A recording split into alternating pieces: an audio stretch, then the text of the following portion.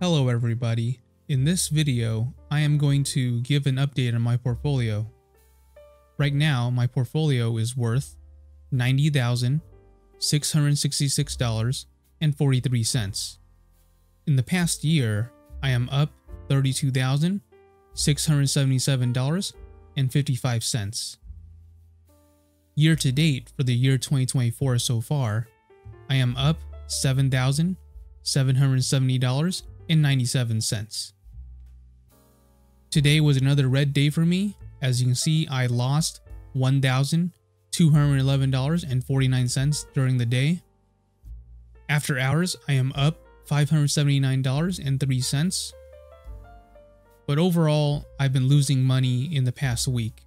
As you can see, in the past week, I am down $4,901.73. So about $5,000 down in the past week. I have added money to my portfolio. I've added a couple thousand actually. Let's look at my positions. For my options, I'm selling LUV $30 covered calls. These expire April 19. Total return $225. I'm selling PayPal $63 covered calls.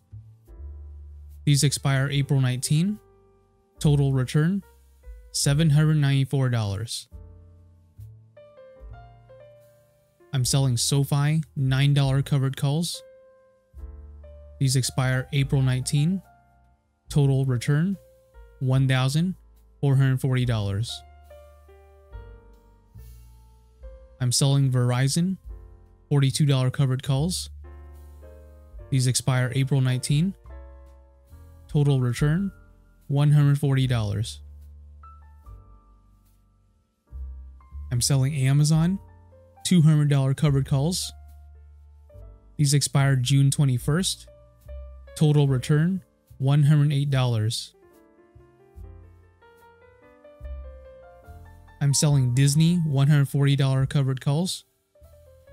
These expire June 21st. Total return $378. I'm selling Google $170 covered calls. These expired June 21st. Total return, I am down $67. I'm selling Robinhood $16 covered calls. These expired June 21st. Total return $96.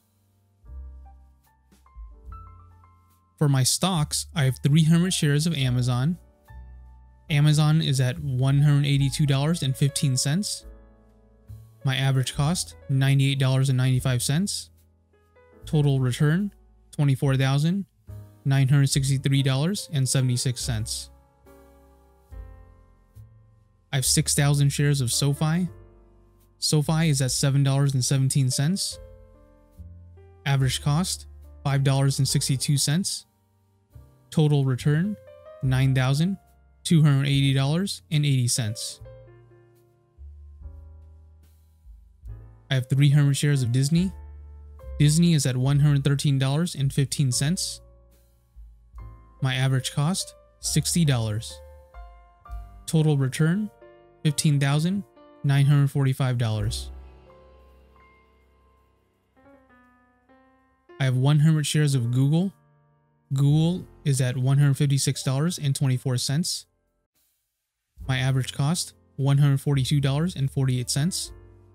Total return, $1,376. I have 500 shares of Southwest Airlines. Southwest Airlines is at $28.79. My average cost, $28.03. Total return, $380. I have 200 shares of PayPal. PayPal is at $63.50. My average cost, $57.70. Total return, $1,160. I have 200 shares of Verizon. Verizon is at $39.76. Average cost $39.31. Total return $90.10.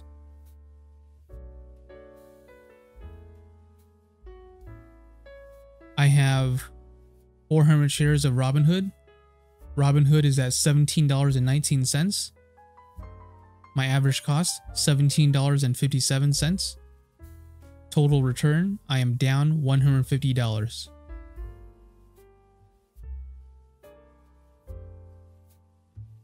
This is a margin account. My margin total is $102,142.67. My margin used is $95,504.61. That leaves me with about $6,638.06 in buying power. My margin status is low risk. My buffer is $43,382.65. That's this green buffer right here before I hit my margin call. My annual interest rate is 8%. The daily interest that I'm paying is $19.88. We're getting closer and closer to the 19th. Today is the 17th, so there's only two days left. I think right now is a good time for me to talk about, you know, how my covered calls are going, what the benefits and the disadvantages are. So, one of the advantages of covered calls, and this is clearly illustrated by something like PayPal. So, for example, PayPal, my total return from the stocks is $1,160. But on top of that, I also have covered calls. So I have about $1,160 of return from the stocks. And then I have these covered calls. And the return from those is $794. So if I just had the stocks and did not do this covered call position, I wouldn't have this $794 worth of gains in addition to the gains I have from my stocks, right? I, I, I have over 1100 worth of profit from the stocks alone. But on top of that, because I did this covered call on PayPal, I made an extra 800 bucks pretty much. Here's another example. SoFi. So for SoFi, right, my total return from the stocks alone is $9,280.80. That's just from the stocks. But on top of that, I also have these covered calls, right? I'm selling the SoFi $9 covered calls that expire in two days. And how much did I make from that? I'm up $1,440. So in addition to the over $9,000 worth of gains from SoFi stock, because I have this SoFi covered call that I sold, I made an extra $1,440 on top of the $9,000 that I made from the stocks. So, as you can see, sometimes when covered calls are being sold and the stock price stays below the strike price, then you just make extra money on top of the gains that you already made from the stock. Now, that's if the stock price stays below the strike price. For example, I, I sold the SoFi $9 covered calls, and SoFi is at $7, which is below $9. Um, PayPal, I sold the $63 covered call. PayPal is at $63. So if it's at or below, then you're probably going to make some sort of money. Um, depending on, you know, the price of what you sold the covered call at, etc., etc. But generally speaking, if this price of the stock at expiration ends up being around, you know, the strike price you chose or below, most likely you made some money. So that's an example of how covered calls can be used to make extra income. In addition to the returns that you get from the stock, you make extra money from your covered calls. So that's some examples that I uh, have in my personal portfolio, right? That I'm using as my personal examples. What's another example? Oh, Verizon. So Verizon, if we look at the stock, my total return is $90.10. So I made $90 from the stock. Let's see how much I made from the covered calls. So I'm, i sold these Verizon $42 covered calls. Total return $140.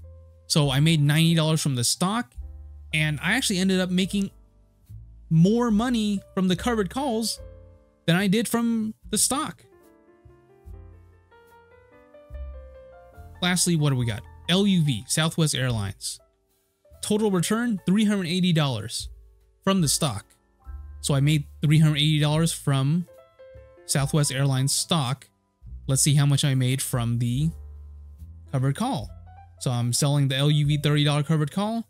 I made $225. So again, the money you make from the stock, and then if you sell covered calls and if that stock price stays below the strike price, you basically end up making extra money from the covered calls. In this case, I made an extra $225 because I chose a $30 strike price and LUV is below $30. It's at $28.79. So generally speaking, you want your covered calls to be below or at the strike price if you're looking to just make some extra money from the covered calls and collect the premium. Now, it's a little bit trickier if you were looking at, you know, intentionally doing in the money covered calls, which is what I'm doing for Hood. So, for example, for Robinhood stock, this is different from the examples I just gave because in this case, Robinhood is at $17.19. I chose a strike price that's below the current strike uh, the current stock price. So, in I'm intentionally choosing a strike price that's below the stock price because I actually don't mind if these get called away. Like I'm I'm okay if Robinhood stock ends up being above the strike price and not below it. And if it does go below it, like I mentioned before, you collect the money from the premium from the covered call. And although I do take a hit because the stock price decreased, if it's a stock that I believe in long term, then my mindset is okay, it's eventually going to go back up anyways because I believe in it long term. So it's not really a loss. But yeah, that's basically some examples of how covered calls can be used and it can be advantageous if you use it in a certain way to just collect extra money using the covered calls. Alright, that's pretty much it for this video. We're going to see what's happening in two days when all of these expire. And then I'll have to decide what I'm going to do next um, after they expire. Most likely, I'm going to sell some more covered calls. I just have to decide what strike price I want. We'll see. Alright, that's pretty much it for this video. Thank you so much for watching. Please like and subscribe if you haven't already, and I'll see you guys in my next video. Thank you.